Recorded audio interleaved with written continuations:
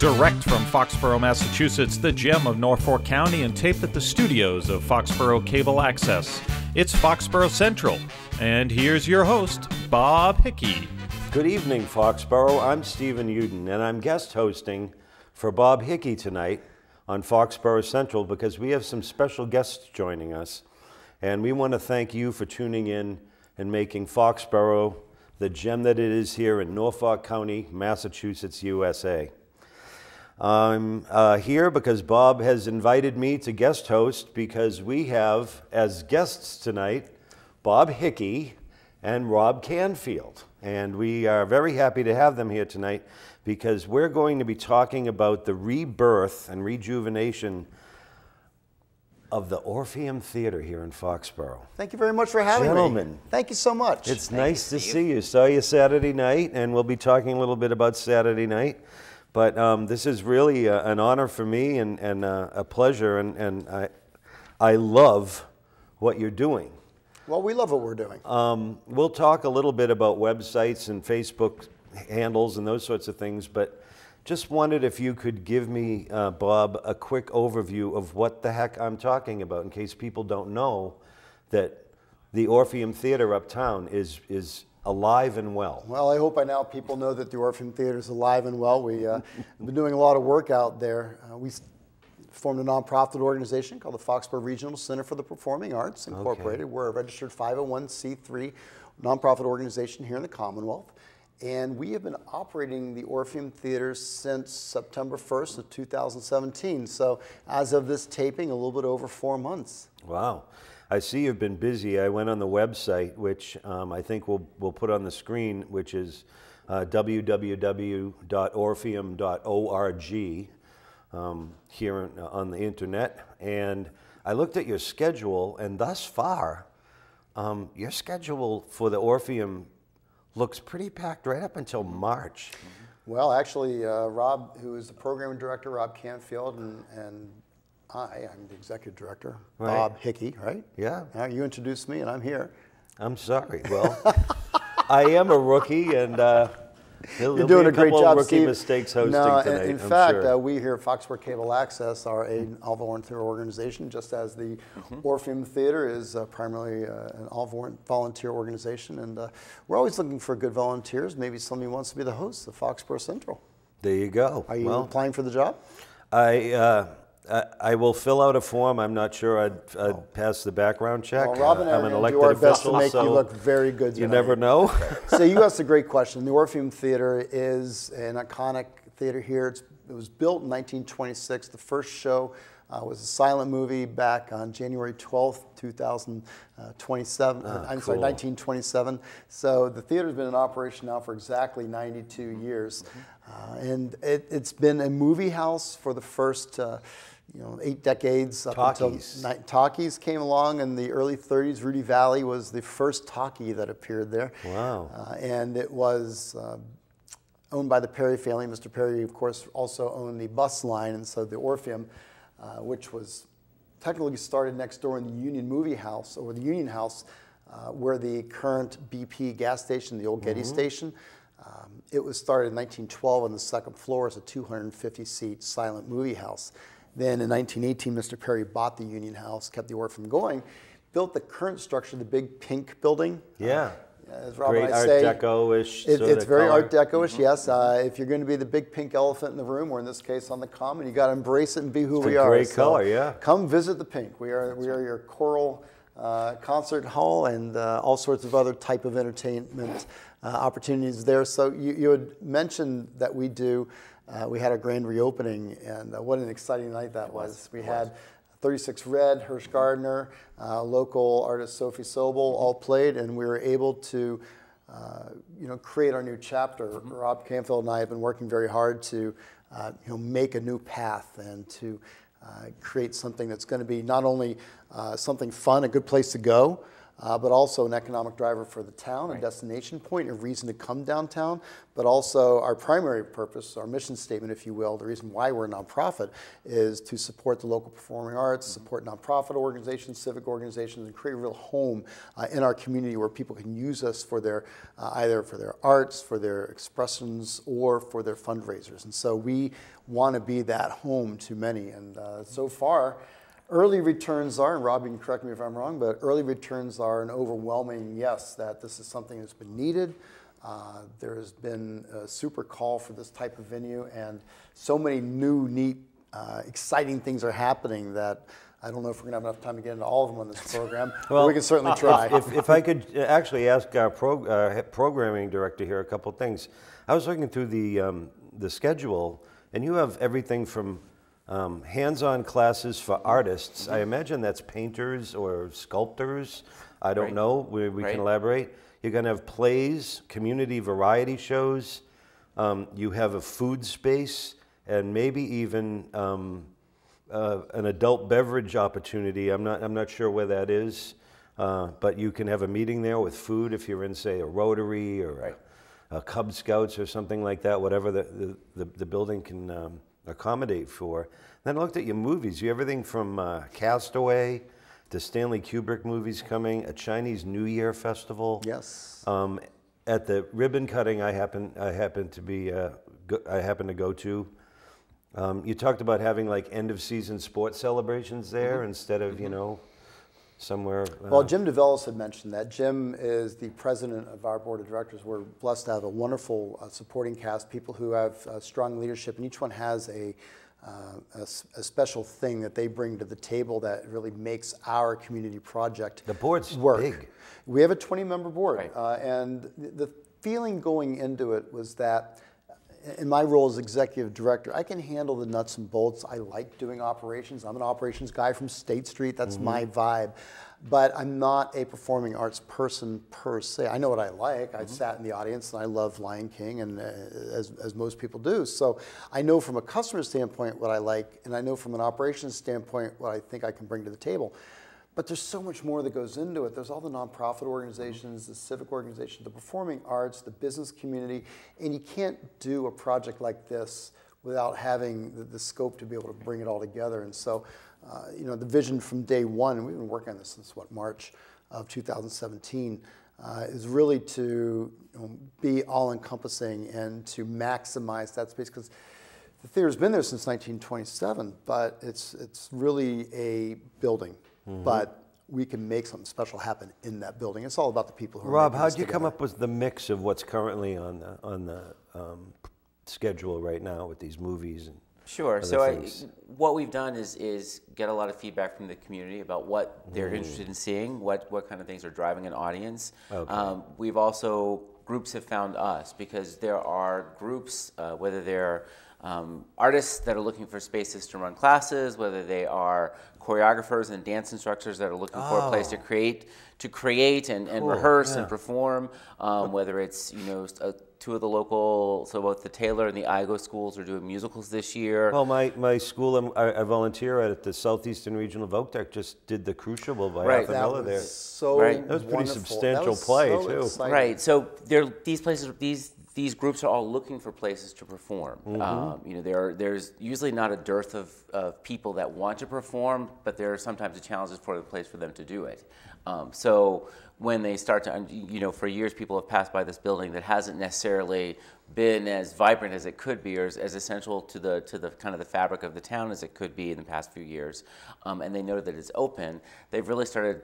Um, finding us more than you know we we did some reach out very early on we're still continuing to do it but more and more we're finding that people are coming to us and saying we're thinking about we want to use this we want to can we, So it's this- is completely, space appro- you're completely approachable, uh, the organization, to at least have a discussion of what you want to do. Absolutely, And and I, I- and I think that's a great way of going. I, re- I remember when we first started you know Bob's answer well the thing you wanted to put over the door was I was always laughing with your wife, Laura, who's one of the phenomenal directors here in Foxborough, works with the children and, and uh, at the school level and is bringing her product out to our place, uh, which I think is wonderful. With the recreation department partnership, Right. having 101 Dalmatians out there with the Taylor School, uh, recreation with Aladdin. I mean, how exciting was it to see Yeah, they're kids? Canfield class plays. I mean, Yes. those of us that have been to them know that. Well, uh, my daughter was there back in the day, They're and- fabulous stuff. And, but what a great environment to have a real stage and, a, and a real theater environment for these kids to be exposed to. And you'd mentioned Southeastern Folk, the Southeastern players, and give all the credit to that wonderful director, uh, Mr. Croson. Uh, Chris, you know, saw that stage and he you know, em- embraced what we had to offer. And his words were, he was so excited to be able to give his high school students the opportunity to perform on a We're real part of a stage district before they graduate. And- and, and we love that type of enthusiasm because that's what we want to do. Right. We want to be able to give people that opportunity to be exposed to theater. Uh, and I suppose that's one of the reasons why we're also so excited about, you mentioned the ribbon cutting ceremony, our new name, our new identity of the Marilyn Rodman Performing Arts Center. Yeah, that was it. And c- could you develop that a little bit because she had a huge gravitational pull to the arts, Mm-hmm. not just from this area, but like everywhere. So I learned a lot the other night. Well, you know, so you mentioned the other night our ribbon cutting ceremony, our rededic- our dedication, our re-grand opening gala that we had on uh, January 6th. It was a very exciting night, the- How many people were there? A couple of hundred, easy. we had over 280 people there. yeah, so that's about two thirds or more full, three, three, three fourths full. It was a great night. Yeah. And so the theater itself has 400 seats. Uh, we Yeah. have, um, when I mentioned about Mr. Perry, the uh, theater was sold to the Sharon Cinema Group through a couple transactions. And then they closed it in 1989 after it was a triplex to focus on their property out at the Shaw's Plaza in Sharon. So the same group owned two.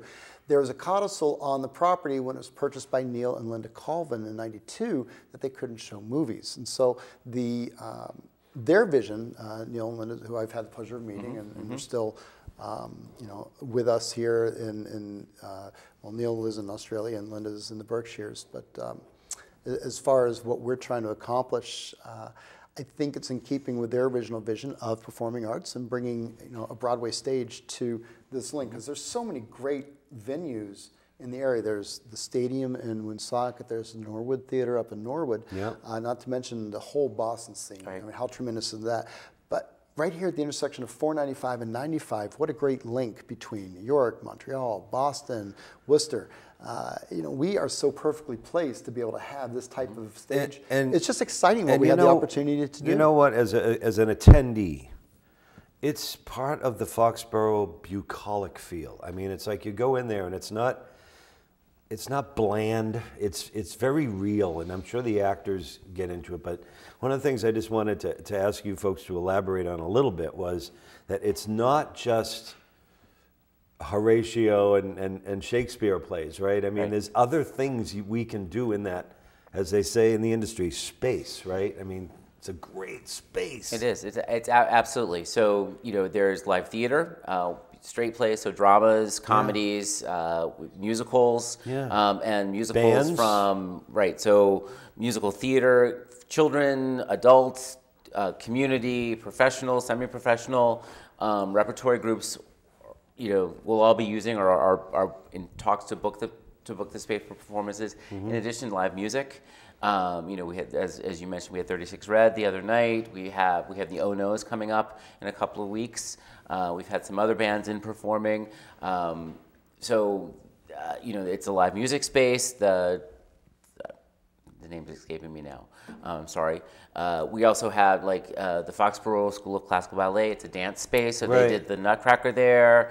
We have Cheryl Ward, who is now coming in, and, and um, she had auditions this afternoon for a performance piece that she's putting together. Tara Woods is going to be doing the uh, a, a dance musical Right. called Throwback, and we're very excited about that because that's our own production.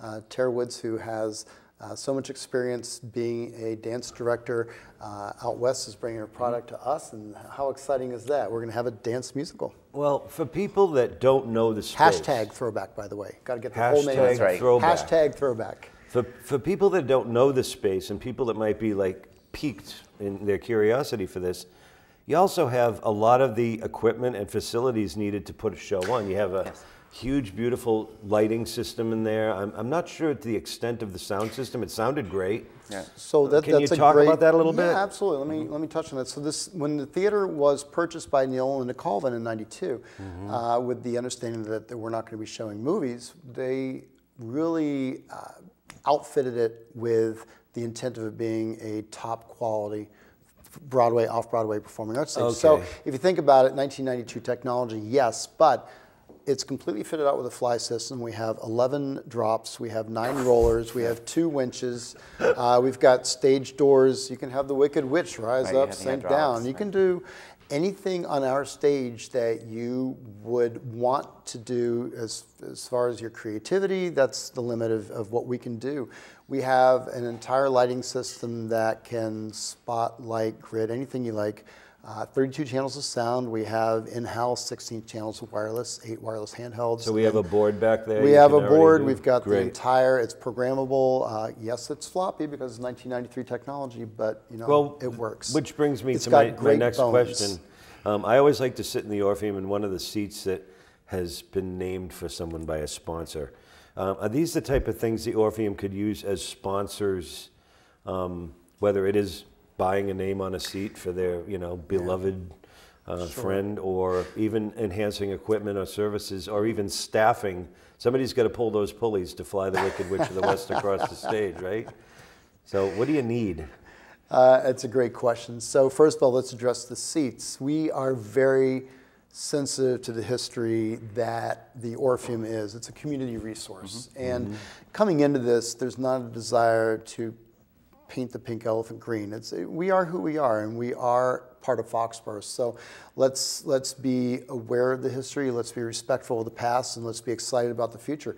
The chairs that are in the first seven rows, they were all dedicated when the theater itself uh, underwent an earlier rebirth. And so those chairs have historical significance. Mm-hmm. Yeah, they're were- beautiful. Then not only are they beautiful, but the dedications are people that we all know. They're our Yeah. neighbors, they're our friends, people Yeah. from our history. So it's very important that we keep those there. And any future fundraiser will be very uh, respectful We'll of be, that. be doing that in, in the future. You Can know, can uh, you there's a lot of fundraising opportunities, and you know the great thing about the Orpheum Rob is that there's plenty of room for volunteers to come on board, uh, create a fundraiser, and we can all you know explore that together. So how do we have the volunteers contact you?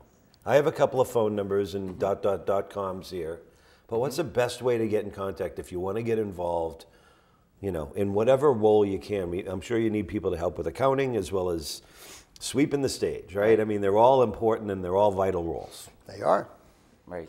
Um, so certainly the, the phone numbers are great. Um, so 508-543-ARTS. Um, uh, that translates to to 508-543-2787. Yep. Um, you can contact Bob at the Orpheum, so it's Bob H at orpheum.org. You can contact me, it's Rob C at orpheum.org, or there's also box office at orpheum.org. Yeah, I got that. That's pretty prominent on your website Right. and as well as the um, Facebook site I Yes. went to, which is the Orpheum Theater, three separate words, dash Foxborough, with, as we say, without the ug. Without it's the ug. O-R-O. Right, right. right. The reason, the reason for that is the Orpheum has been around for a while, and there are a couple sites out there that aren't official. The official site has our, uh, our I'm going to call it iconic, our uh, Art Deco lion, Yeah. uh, who's been our, our new logo. Julie Pritchard with JCR. Yeah, that was uh, a great has- design. she's also with the Cultural Council, and she. You know, the great thing about this whole project is, and I'm an old Foxborough JC, so forgive me for saying, but uh, I'm running this like a CD project. You have your ways and means, you have your, you know, individual development, you've got your community development, all the pieces that go into a good project is how we're going to have to create this Foxborough Orpheum Theater as a project for the future. So um, the lion head is our logo, so look on Facebook, find the one that has it's the lion. strong, it's Art Deco-y, it's But it- unique at the same time. It's, it's really a great Our logo, is so cool, and with the new branding, uh, being the Marilyn Rodman Performing Arts Center, we've kept the strong points of the logo. Uh, and we, we have a monogram with MR. It's, there's so many different ways to uh, really make that building beautiful. And part of it is going to be the branding. So embrace who we are and, and go forward. We're starting off at such a uh, zero point Mm-hmm. as far as where we want to go. There's nothing to do but Yeah, but create you're some not excitement idling. and go forward. You're rolling, you know, and rolling, No, rolling people- like thunder. Yes. Yeah, and- People have and, been you really, know- really receptive. They have. It's been, Well- it's been great. if you can help me understand a little bit, how do we thank the Rodman family? We've we've named it for Marilyn, right? Mm-hmm. Are they helping us with sponsorship as well? Because they they certainly are a strong supporter of the arts, right? And uh, So her son on, on gave the a business moving side, speech the other yeah, night. Craig, right we had from the honor of meeting Craig, and he uh, was um, he was so spot on He was in, a real everything deal. he said. He was a real deal. I'm going to say that the way to honor the name is to be true to our mission. Mm-hmm. Uh, Marilyn Rodman, as you heard, Rachel Calabrese, who is the chair, uh, president of Confit Kids, a local nonprofit organization that provides scholarship money to kids wanting to participate. Um, she was so uh, accurate and, and moving, and, Yeah. and she's really the, the one who, who brought this together. Uh, she uh, has a very strong relationship with the Rodman Foundation, with the um, Rodman Ride for Kids, and her mission is very closely aligned to what our mission is, which is really to do good and to create the opportunity for uh, kids to have success uh, through the arts with us, uh, through participation with her. Um, by making that uh, marriage, if you will, between the Rodman Foundation, the Marilyn Rodman Foundation, and us uh, gives us the opportunity uh, through their being able to give us the funding necessary to finance the purchase. Um, Wow. and you know, it's not a gift. We are a nonprofit. We do need to raise money. You had mentioned that earlier. Uh, we have memberships, uh, which It are was very only fifty affordable. bucks, and you got a lot for it. I saw the. the- Well, the we brochure. believe strongly that everybody should have an opportunity to participate in the arts. And if we make it so pricey that only a few people can join, we don't want to be elitist. We want to be something where everybody can be here, can come to the theater. Our prices are low. We're Yeah. not we're not trying to get everybody's money in one shot. We'd rather you come here, be entertained, be a part of the Orpheum family, uh, be one of us, and a rising tide will raise all ships. And we're going to be very comfortable knowing that we're doing the right thing and everybody supports us by doing the right thing as well. So, fundraising, absolutely. Wow. Uh, being a member is a wonderful thing. And coming to the shows, that's the biggest way you can support us. That's Fill the, the seats. That's the biggest way. I mean, I think that coming in, you know, and coming and watching something. And you have junior mints, and you have good right. popcorn, and you, Right. you know All you have all those popcorn. things. Tell about the junior mints, but I'm sorry, I'm just I just I lost control of myself yeah. for a minute. Sorry about that. You and our technical and lighting director, Bob Junior Siteman, mints, he's a Junior Mint are fan also. delicious. He's available at Bob S at Thank orpheum.org. If you want an Orpheum website, you have to be named so Robert. we so. we have less than ten minutes left, so I just wanted to to swing back into something. Mm-hmm. When you mentioned that you have a board of about 20. 20, people, uh, at first it sounded to me like a club instead of a board. But then I, as I, as I met everybody up on stage and I introduced them, the walks of life that are up there are a perfect match for this, not just internally in running what your vision is, but for evangelizing it out in the community and beyond our community, we are regional, absolutely. right? I mean, what, what walks of life did we have on there? We had, you know, musicians, small business owners, uh, fans of the arts. Our board of directors is comprised uh, roughly 33% of business people, 33% of performing arts and art type people, and 33% trades and uh, business. So uh, it, it takes a village to make a make a child work. Well, it takes a village to make our Orpheum work, and so we need to have those building people. I'm not a construction guy, but I, you know, it's it's a 92 year old building and it needs Yeah. some help. Yeah. Uh, I, I need that support. We have wonderful people who also want to help uh, create that vision that we have a small restaurant, a place where you can have comfort food. Our, our vision right now is a 50 50 vegan uh, Yeah, I carnivore mean, it- type restaurant. I was talking to somebody about Where that. else is it's like, that it's going to be yummy there too. Yeah, Like it the high school kids can go there and eat. you got to put on your vision goggles, Right. but once you have those vision Yeah. goggles on, anything is possible. Well, like the comedian said, if they can, if they can make a, a chicken flavored tofu, well, I'll eat it. You know, because I'm an omnivore.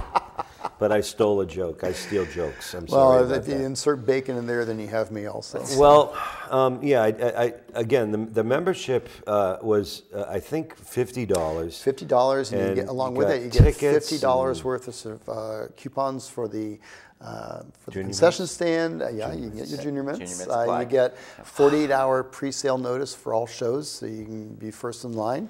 You also have a discount uh, on our performances, so it's really a, a good deal, and it's a great way to be a member and not uh, not break the bank. And on your board, I also noticed that you have a couple of um, newly elected or uh, currently elected uh, t- local and state uh, political people who really love what we're doing here and can help us within their capacity, whatever that is, right? Well, okay. Um, Jay Barrows has Yeah. been a long time uh, activist from the business community. And He's been president, yeah. president of the Tri-Town Chamber of Commerce.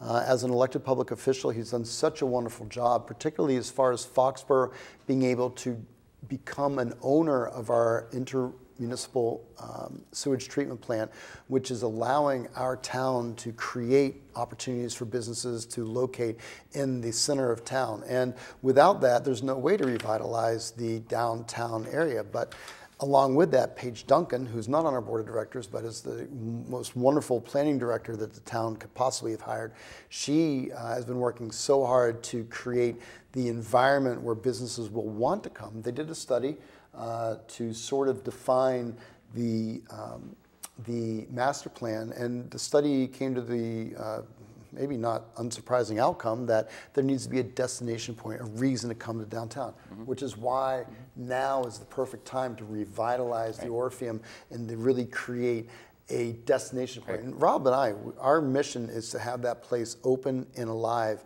every weekend. You should be able to count that there's something going on at the Orpheum. You may not want to go to the specific item we're doing, but you think, hey, what's You- going on you know- at the you Maryland what- Robin Performing Arts Center? Right. You know what Let's check it stinks? out. You know what stinks about this is we're out of time. We've got about two minutes left. You know, you should. You know, a good host would have you know, And- kept us on track. Um, well, you know, uh, I'll let y'all work I'm, it out later. I'm on my permit. I'm on my permit, and I still have driving lessons. Okay. Um, what, what I wanted, what I wanted to do was give you each a a quick last word, um, and and thank everybody here in the in, that you can't see. I wish I could ask people to swing cameras at each other, but they probably won't. Um, because we've got a lot of nice people helping us out here from Foxborough Cable Access. But Rob, why don't you give us a few, uh, 30 seconds or so, if you can, of what your long view is, and, and, and I think we should do another show and do a walkthrough with some camera footage. I think that'd be delightful. I think it'd be great. a walking tour. So, uh, yeah, I, it's it's a really exciting time for you know the center of town, for Center of Foxborough. It's an exciting time for the Marilyn Rodman Center of Performing Arts, uh, or Performing Arts Center, excuse me. Um, what we're trying to do is, as Bob said, make it a destination point. Uh, there, you know, multiple performance spaces, multiple opportunities for people to come in, take part. I think one of the things that I really loved about getting re-involved with the Orpheum after having performed on the stage for many, many years. Um, was when we had an open house for I think McGinty Family Fun Day, um, and there were people that were walking because we were. we That's had the- right, you we- kept the We doors had the open. lobbies. We had the lobby open. People come and use the facilities. Um, but so many families were walking in with young kids, and they said, "We've walked by this building. We've driven know, by this ooh, building. ah, right? We have never been inside." Yeah. This building, so we're thrilled to actually walk in. Yeah. We can hardly wait to come see something. Yep. We want everybody to take an opportunity to come back inside the And have your club meetings and to there come too. see something. And have a club meeting in the afternoon or the evening. Mr. Well, you mentioned Hickey. club meetings. Uh, you're, you and I both serve on the Foxborough Founders Day Committee. Yeah, we meet there. The uh, municipal, well, not the municipal, but the nonprofit sector um, should always feel as though we are a welcoming home. What about corporate stuff? Can you come in privately? Or We are have, in fact, one of the most fun things that happened over the holidays was Gil Campos and uh, Remax Realty. Okay. Uh, they had Good. their customer appreciation day, and we showed Outstanding. Uh, we, we showed Polar Express, and uh, Gil was there. I remember reading that in the paper. He that's was right. phenomenal, and it was just a wonderful day. So we are a venue that speaks to so many needs from a corporate standpoint. Uh, presentations, businesses use us. Mm-hmm. We are a nonprofit organization. The lights need to stay on, and we have a very reasonable fee schedule. The important thing is that we are a resource, and we want to be the home to all the groups that it. need a home. So that's why the Orpheum is important. That's why we're so excited that we're now the Marilyn Rodman Performing Arts Center, and we hope to see everybody there. We're going to thank uh, Rob Canfield and, and Bob Hickey for uh, doing so much with the big board. I want to uh, thank Bob and, and the team here at FCA for letting me guest host. I want to thank our viewers at home for watching this. And um, just ask you all to be kind, look out for each other, and count your blessings at home. Thanks a lot, fellas. Have a good night. Thank you so much. All right.